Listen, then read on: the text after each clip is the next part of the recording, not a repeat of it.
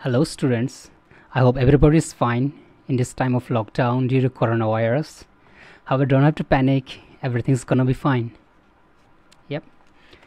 So today we'll discuss class 10 chapter 1 resources and development. First, we'll try and understand what is resource. Everything available in our environment which can be used to satisfy our needs provided it is technologically accessible, economically feasible, and culturally acceptable can be termed as resource. Okay, so every time you define resource, just keep in mind these three key points. Next, we'll see the types of resources we have. On the basis of origin, we have biotic and abiotic. Biotic means living, abiotic non-living. Then on the basis of exhaustibility, we have renewable and non-renewable on the basis of ownership individual resources. Resources that are owned privately by the individual such as your house your property community resources. Resources that are owned by the community such as community halls uh, parks playgrounds national resources. Resources within the national political boundary that is and also at sea that is within the 12 nautical miles. International resources resources beyond 200 nautical miles at the sea. That is the international resource. And next we'll see the status on uh, on the basis of status of development. Potential resource. Okay. The resource which are found in a region but have not been utilized. For instance rajasthan and gujarat have enormous potential for solar and wind energy. But so far, these have not been developed properly. Such resources are potential resource. Now we have developed resources, resources that has been surveyed and the quality and quantity have been determined for utilization. Such resources are developed resources. And what is stock resources? Resources that have been surveyed but cannot be used due to lack of technology. Okay, for instance we have uh, water. Water is a compound of two inflammable gases hydrogen and oxygen which can be a rich source of energy but we do not have technical know-how to use them. Yeah. And same as the nitrogen. Okay? So such resources are stock resources. Reserve resources resources which can be put into use with the existing technology but we haven't used them sufficiently such as the river water can be used for generating hydroelectricity power but presently it is being utilized only to some limited extent right? So such resources are reserved including the forest. Next we'll see major problems due to indiscriminate use of resources. What is indiscriminate use of resources? It's action done without thoughts of what result may be or random use of resources okay? Some major problems we'll see. First depletion of resources. Definitely our resource will be depleted if we do not use wisely. Secondly accumulation of resources in few hands. That will divide our society into two segments have and have nots rich and poor. Thirdly, it will lead to global ecological crisis such as global warming, ozone layer depletion, environmental pollution, and land degradation. So, just know these few major problems due to indiscriminate use of resources. Next, we'll see what is sustainable development. Development taking place without damaging the environment and the development in the present should not compromise with the needs of the future. Yeah? Any development that is done today it should not affect the future. That is what is sustainable development. Rio de janeiro earth summit 1992 okay. in june 1992 more than 100 heads of states states meaning here country met in rio de janeiro that's in brazil for a first international earth summit why it's important? Because it's the first international earth summit ever held. The assembled leaders signed a declaration on global climatic change and biodiversity and adopted agenda 21 for we'll see what is agenda 21 in next slide. Achieving sustainable development in the 21st century. So agenda 21 what is it? It is a declaration signed by the world leaders in the year 1992 at the united nations conference on environment and development which took place at Rio de Janeiro, Brazil. It aims at achieving global sustainable development. Now let's see resource planning in India. Why is resource planning in India very important? There are some reasons which can be considered as self-sufficient in terms of the availability of the resources. And there are some regions which have shortage of some essential resources. For instance if you see the states madhya pradesh chhattisgarh uh, odisha jharkhand especially the chotanagpur region very rich in minerals. Yep. And also you see the states arunachal if you see the state arunachal pradesh abundance of water but they lack infrastructure there. They do not have proper technology. And same and if you see Rajasthan they as we already spoke it has high potential of what? Solar and wind energy. But what but they do not they lack water resources. So there is enormous diversity in the availability of the resources in India. So which is a call for the balanced resource planning. So we need a balanced resource planning and this planning is to be done at the national level state level regional level and local level okay? So that is why we need resource planning and also for the judicious use of resource. Now how is resource planning to be executed? How do we execute it? Yes we know there's a need but how do we execute it? First we got to identify the resources okay. we need to survey it. We need to do the mapping okay in which states what resources. And then we need to estimate. Secondly we need to have a planning structure okay, and use the appropriate technology okay. Now suppose in arunachal pradesh there is abundance of water. What technology do we use here? Maybe what project could be done? Maybe dams could be built for hydroelectricity power generation. Yes. Like in Rajasthan potent high potential of solar and wind energy. Yes. So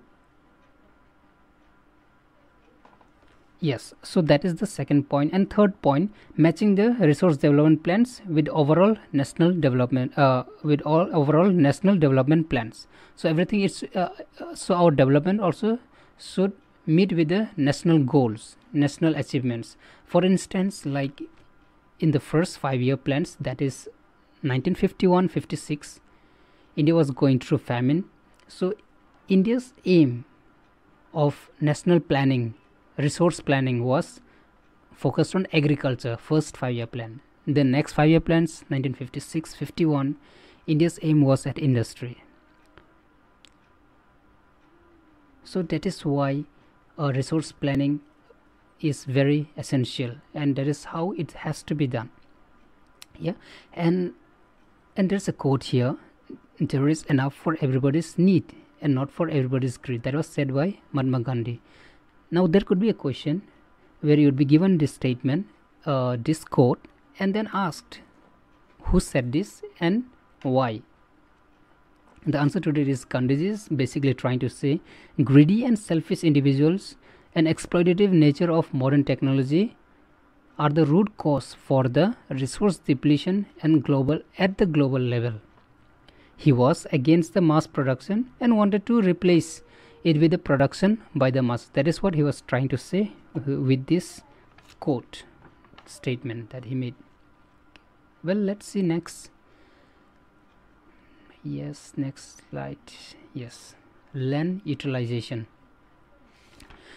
Well, we all know land is the utmost important. Where do we go without land, right? We live on land, we perform all our economic activities on land and land can be utilized for different purposes right so now we'll see the major purposes for which the land are being utilized okay first is permanent pastures what is it land used for growing grasses okay? Then grazing lands basically land uh, to graze the cattle forest. Then fallow land what is fallow land? Land normally used for farming but is left with no crops for a season or so why? In order to recover its fertility. Could regain its ferti uh, fertility. That is fallow land. Now the wasteland. What is wasteland?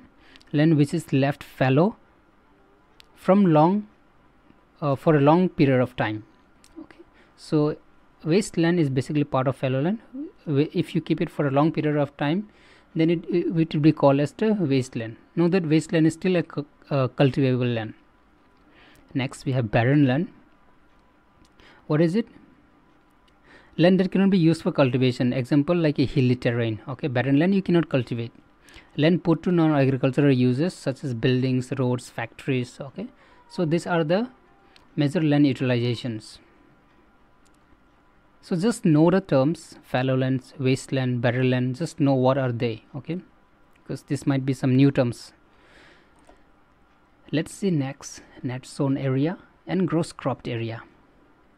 All right so here we have two pictures land a and land b. It is just an example for you that i have made.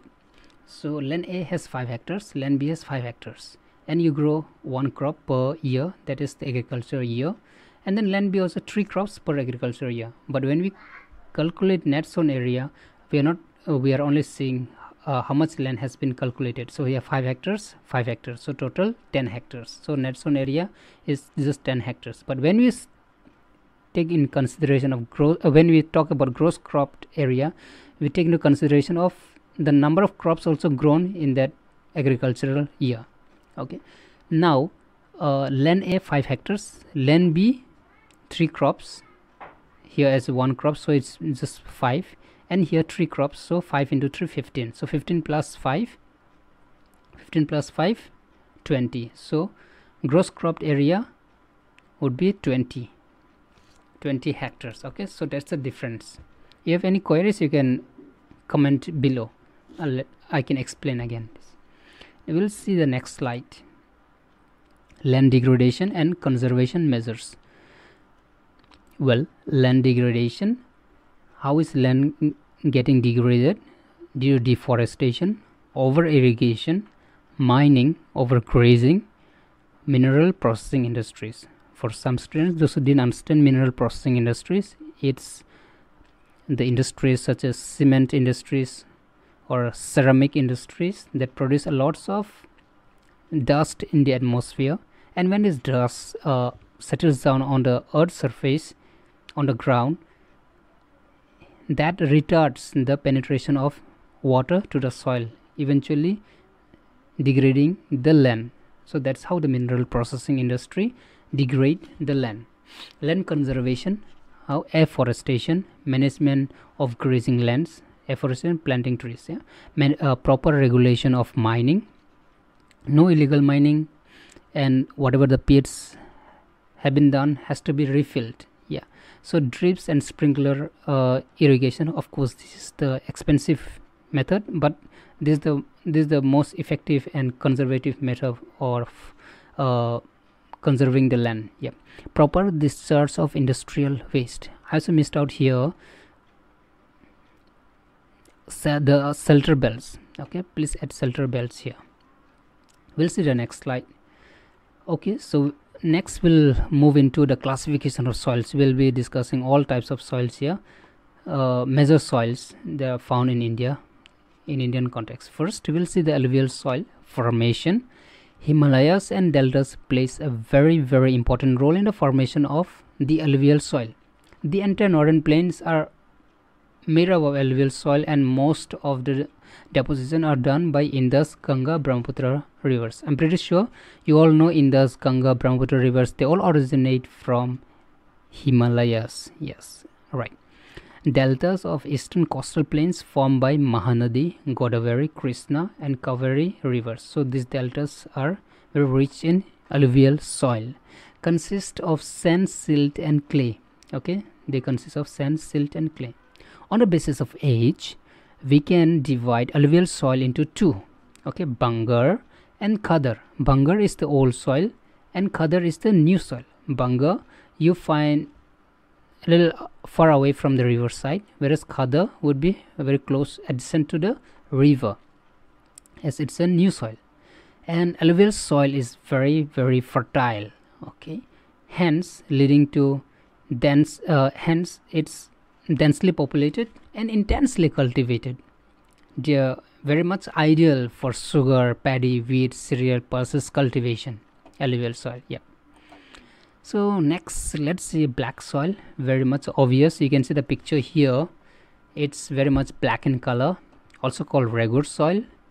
It's uh, derived from Tamil reguda uh, which means cotton. Yeah good for cotton. Hence they are called black cotton soil also. Formation climatic and parent rock plays a very very important role in the formation of this black soil like in Deccan and basaltic rocks. Location Maharashtra, Saurashtra, Malwa, Madhya Pradesh, and Chhattisgarh. They're very clayey in nature. Content very rich in calcium carbonate, magnesium, potash, and lime. The black soil, right? And yes, I'll just move this. They create deep cracks in hot weather but at the same time during the monsoon and during the rainy season and if the soil gets wet it becomes extremely sticky and very very difficult to work that's the characteristics of black soil. Yep. We'll see next. Okay uh, next slide is here. Yes red and yellow soil formation crystalline igneous rock in areas of low rainfall. Location in the eastern and southern part of the Deccan Plateau. Then content igneous rock with iron. I'm, I'm sure you all know what is igneous rock. Okay. Just for students who don't know, igneous rock is uh, first when the magma comes out uh, to the earth's atmosphere it's called uh, lava okay when this lava cools down solidifies okay so eventually they become uh, igneous rock later okay. So that's igneous rock. Uh, uh, develop a reddish color due to diffusion of iron in crystalline and metamorphic rock okay the reddish color. But then once they get diluted with water it they turn into yellowish color. Okay crops tea coffee and rubber very much prominent in red and yellow soil. Yep. We'll see next.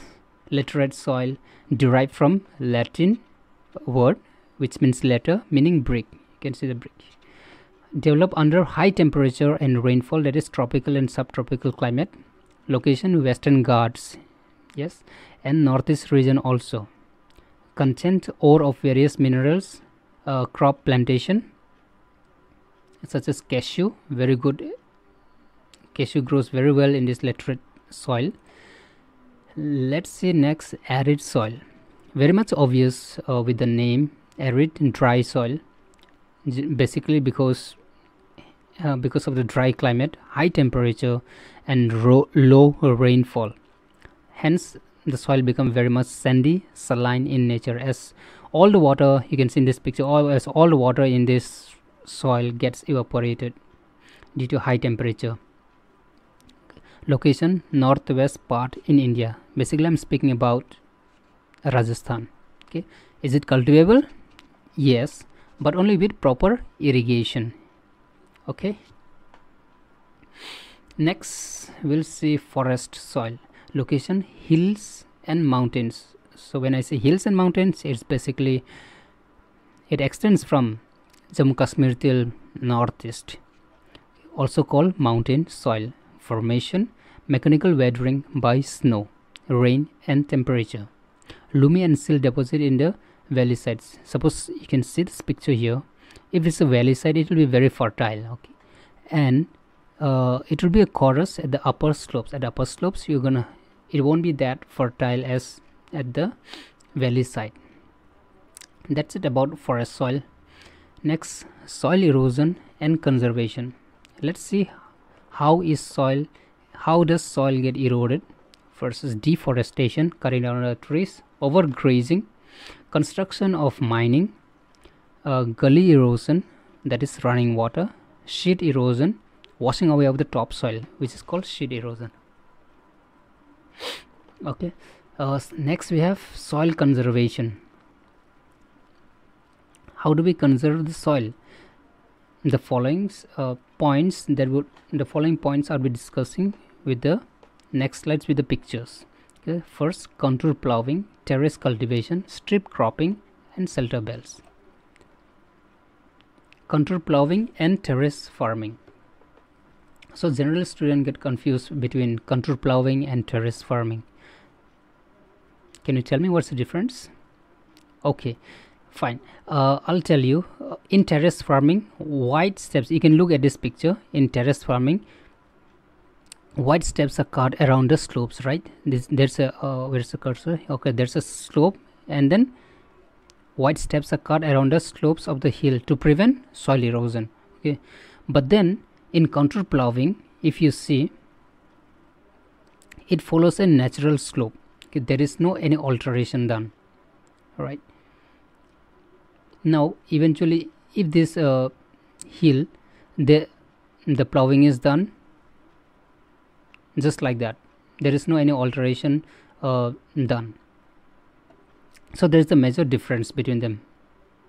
Now in plowing if you start altering here it will turn into a terrace farming okay? So not much difference. So i hope that's clear.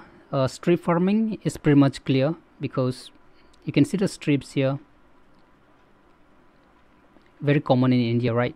And shelter belts planting trees rows of trees along the coast along the along the farms along the fields basically to prevent wind erosion uh, soil erosion by the wind. So that's shelter belts contour plowing terrace farming strip farming shelter belts. I hope that's pretty much clear. Well i think that's it. Yes thank you so much. Uh, take care. God bless you. And i'll see you in the next video